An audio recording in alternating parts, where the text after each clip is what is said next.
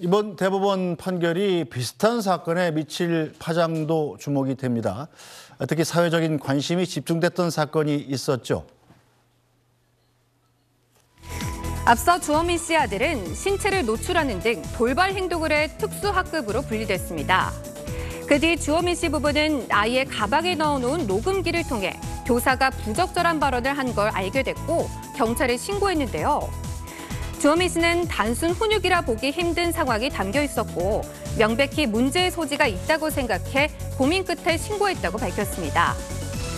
최근 교권 침해 행위에 대한 주목도가 커진 상황에서 이 일이 알려지자 주호민 씨가 무례한 행동을 한 게 아니냐는 논란이 일었는데요. 특히 가방에 녹음기를 넣어놓은 것에 대한 비판의 목소리가 컸습니다. 네, 가방에 녹음기를 넣은 것에 대해서 주호미 씨를 비판하는 목소리도 있었습니다만 지금 주호미 씨 아들은 약간 상황이 특수하잖아요. 지금 이제 주호민 씨의 아들은 장애가 있는 것으로 알려져 있고 그게 신체 장애가 아니라 어쨌든 이제 정신적 정서적으로 자신의 피해를 좀 구현하기를 구현하기가 좀 어려운 상태의 그런 발달 장애 종류를 갖고 있는 것 같습니다.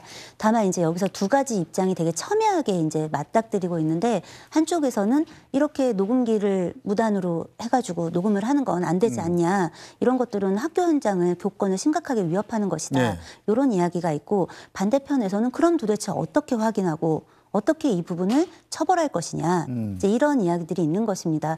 요 사건은 사실 지금 이번 사건하고는 또 다른 쟁점이 하나가 있죠. 아이가 네. 장애가 있다라는 그렇기 때문에 이 부분을 이제 요런 교사의 어떤 발언이 어떤 곳에서 이루어졌느냐, 그러니까 다른 사람들이 있는 데서 이루어졌느냐, 그렇지 않느냐.